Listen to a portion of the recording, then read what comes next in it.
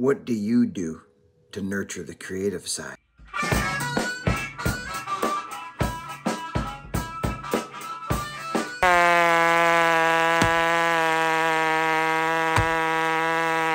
You find your groove, it just all of a sudden it goes in there and you're you're pulling chips. Experiment that I'm that Buckin's doing. That's that's it. That's all this is.